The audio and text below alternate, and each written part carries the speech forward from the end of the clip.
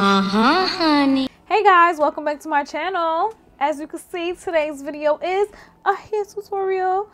I put some passion twists in my hair. I know y'all see a little foundation around my hairline. Listen. I'm a, I, I got beat and I, I, I was being sloppy.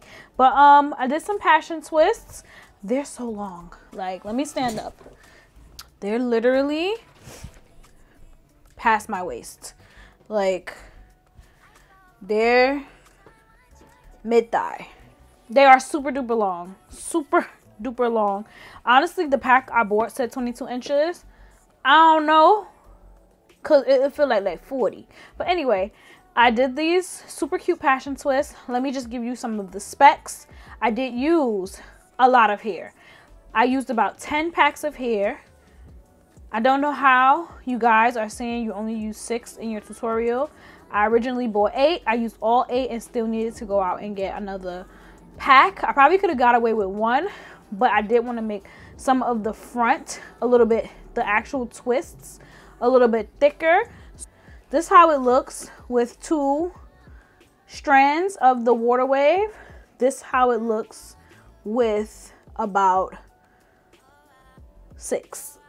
so I wanted them to be thicker in appearance. So we have some thin in the back and some thick because I didn't want it to be so heavy.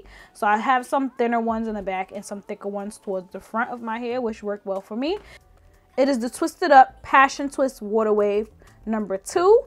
It is by Outre or Outre. I worked with Outre before and I found out that it was pronounced Outre. Outre. Outre. Whatever. Outre, Outre, however you want to say it. Passion Twist Twist Up. This here is very nice. I did have Passion Twist previously and I used the regular Water Wave pack. Um, I don't note any significant difference.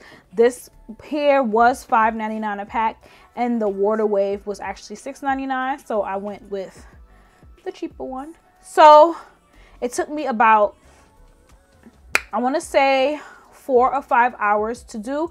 That's including parting, washing, blow drying my hair.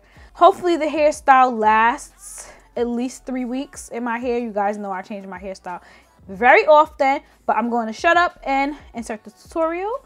Hopefully you guys enjoy it and see you next time. Okay, so as you can see, I did do the rubber band method. I parted my hair into a bunch of sections and tied it off with a rubber band. This made it so much easier for me to actually twist each section because you guys know my hair is like slippery. Stuff don't be staying and I did have to straighten my hair. It looks better with the texture of the water wave to straighten your hair because otherwise it just looks so frizzy and you got to use so much of this pomade. So I did opt for the crochet method. I just slide a crochet hook under the rubber band and pull the hair through. Pull one side to one side. And you can either start off by braiding your twist or you can simply just twist straight down. Some of them I braided it, some of them I twisted. It depends on the texture of your hair. If your hair holds a twist fine, you can go ahead and leave it to twist it. But if you feel like it might slip out, because again, the water wave here, it has like no texture to it. So it's hard to really get the twist to really stay. So you can start off by braiding a little tiny bit and then just twisting. And keep in mind when you're twisting, you want to twist the hair as well. So I'm going to show you in a few seconds.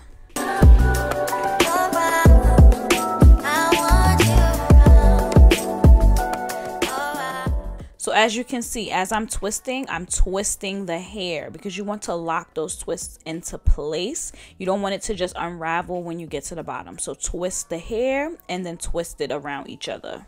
Add a little pomade when you get to the end of your hair so it blends nice. This pomade is great. It doesn't leave any white residue. It doesn't turn into grease.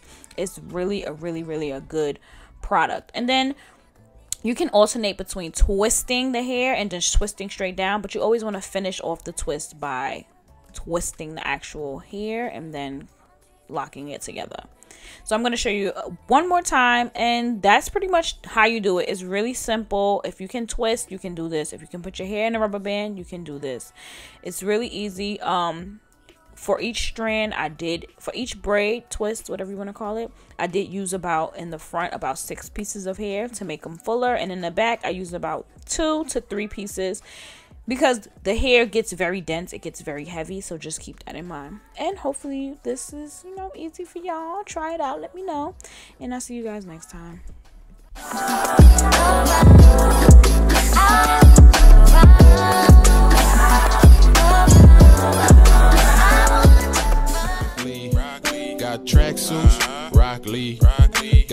Got swipes, ho. Not me.